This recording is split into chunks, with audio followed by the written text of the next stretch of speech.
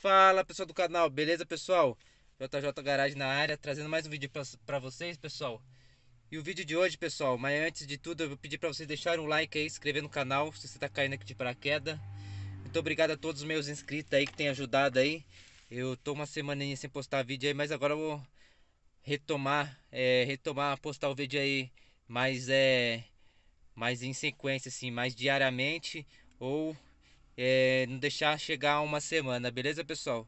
Então pessoal, a dica de hoje é uma dica simples aí, mas é aquela dica que eu, eu vi na internet, resolvi testar e realmente funcionou.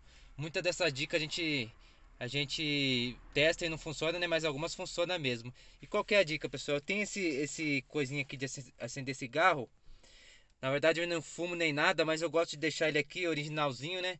Até porque se você quiser acender alguma coisa aqui, você consegue acender além do cigarro, né?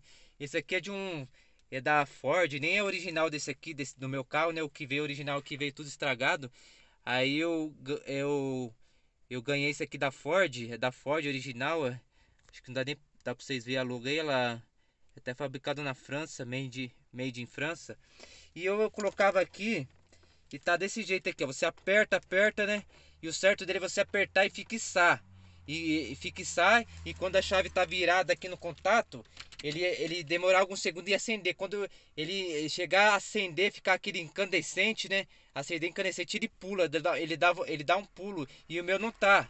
E você só aperta ele aqui ó, ele fica molengo né? Você aperta até o final ele não trava lá né? Aí eu vi a dica que é uma coisa bem simples. É só você pegar uma chave de fenda ou a própria chave do carro Tá vendo essa chapinha? Tem duas chapinhas aqui, ó. Essa chapinha desse lado e desse outro lado aqui, ó. Ó, tá vendo? É só você dar uma fechadinha nela, pessoal. Coisa muito simples, ó. Do jeito que eu tô fazendo aqui, ó. Fazer uma alavanquinha e dar uma fechadinha nela pra dentro. Somente isso, pessoal, dos dois lados. Somente dos dois lados. Ó, vou dar uma, uma forçadinha aqui, ó. De leve para não quebrar a chapinha. Tá vendo que esse aqui meu é bem antigo, tá até enferrujado. Ó, tá vendo que ela tá um pouco assim, ó, fecha, fechadinho um pouco. Tá assim, ó, fechou um pouquinho assim pra dentro. Tanto desse lado aqui, ó, dá pra vocês verem bem, né? Dá pra vocês verem bem. Agora, essa dica é muito top, pessoal. Agora você coloca aqui o seu coisa, né? O seu coisa. Agora vocês vão ver a mágica. Meu não tava assim. Eu fiz agora mesmo, hein?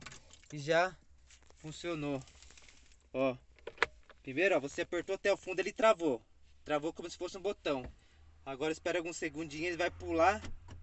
Ele vai pular e vai estar tá incandescente. Ele vai estar tá pronto para você acender o que você quiser. Beleza, pessoal? Então essa dica é muito simples, resolvi trazer para você. Né? Muita gente não sabe, pensa que é o... Às vezes tem para vender né, o kit inteiro, às vezes pensa que vai trocar o kit inteiro e, e, e tá com problema só no coisa, ó. Ó, opa! Eita! Cadê, cadê? Vai queimar as coisas aqui. Já viram? Opa, não deu nem pra... Mas como tá quase quente... Cuidado, esse negócio queima, se cair no carpete ele queima, ainda bem que... Deu um pulo aqui, tá quente, tá quente, literalmente tá quente. Ó. Viu? Na parte aqui de, do plástico não fica quente, mas se tocar aqui no metal ele já fica quente. Mais uma vez para você, pessoal. E finaliza o vídeo. Então essa é dica de hoje.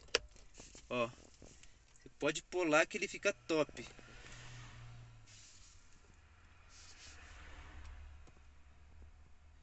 Olha lá. O próprio mecanismo como esquenta ele, ele faz coisar. Beleza, pessoal? Então deixa o like aí e até a próxima dica.